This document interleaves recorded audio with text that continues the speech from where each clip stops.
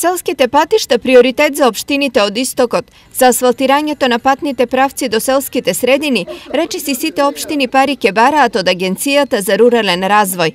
Најамбициозна програма кога во прашање се селата има општина Штип. Видени се патни правци за Горачино и Танатарци, потоа шти Радовиш Суво грло, потоа изградба на пат до село Пухче, кој што е дел од програмата на градоначалникот, 1 километар пат од Долани до мостот кај реката, пат до Степанци, потоа Врсаково, Долно Трогерци, Штип Почивало, како и патишта до Сушево до Брошани и останати за поставени средини каде жителите имаат потреба за инфраструктура и локални патишта. За карбинци приоритетни се следните патни правци локалниот пат од село Долни Балван до село Трогерци, за кој што општината има изработено на проектна документација и останата потребна документација. Недостасуваат и средства за завршување на локалниот пат село Радање Оджелијат. Асфалтот е приоритет број 1 и за Пехчево.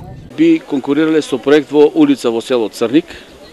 Тоа многу пати го спомнав и пред граѓаните таму и предпоставувам дека и верувам дека тоа ќе ќе ни успее како проект. Имаме имаме предвидено за да конкурираме за детални урбанистички планови и сега во зависност од предходно аплицирани проекти во животна средина, ако не поминат, ќе ги аплицираме во Агенцијата за рурален развој. По патен правец од Агенцијата за рурален развој општините може да се надеваат на 10 до 12 милиони денари.